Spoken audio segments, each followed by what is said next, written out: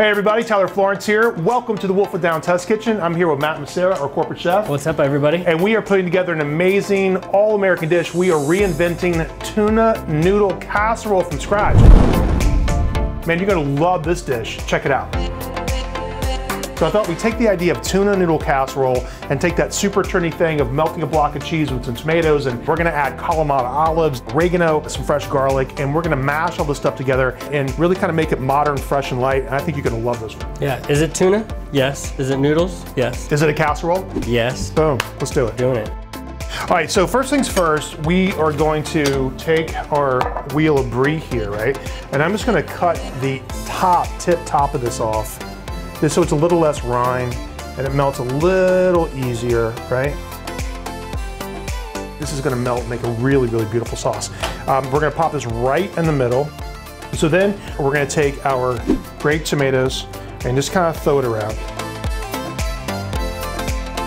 Then we're gonna just take our garlic and just give it a little smash. Boom. And then we're gonna rough chop this. All right, so that's gonna go in. Give that a nice little sprinkle. And then we're gonna hit this with some oregano. Next up, we're gonna add some Calabrian chilies. These things are super delicious and very easy to identify when you taste them. So we have Kalamata olives that, have been pitted. And we're just gonna take these and we're gonna cut these in half and then sprinkle these around too. A little bit of salt to this right on top.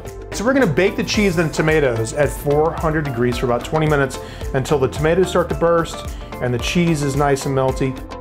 That is beautiful, look at that. All right, here we go.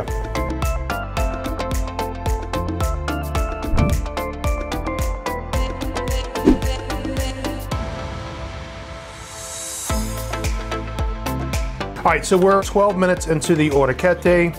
These guys look done. Let's give this a little drain. And uh, then we're also gonna add some olive oil to our panko breadcrumb, and then we're gonna wait for the cheese to melt. 25 minutes in the oven and take a look at this, right? It's bubbly, it's hot, the cheese looks nice and melty. Now what we're gonna do is we're gonna take a spoon, we're gonna mash all this together. Ooh, look, look at that, dude. That just makes me happy. So the cheese is starting to melt and you're stirring all this liquid in together and it's starting to kind of come together as uh, a gorgeous base for a pasta sauce, don't you think? Yeah. I think this looks really, really nice. So the orecchiette is gonna go in first. So again, this is a whole pound of orecchiette pasta. And we're gonna stir all this in. Started from the bottom, now we're here. Tuna's gonna go in. All right, so panko down first, and don't forget, we have the oven set at 400 degrees, and we're gonna flash this back in just to get a little crispy crust on top of this for some texture. And I think you've got a fantastic pasta dish. All right, so this is it, Matt. I think this looks amazing. Yeah, it looks really good. Yeah, nice, simple recipe. You guys are gonna love it. It only uses a couple of ingredients and a lot of stuff you've got laying around anyway.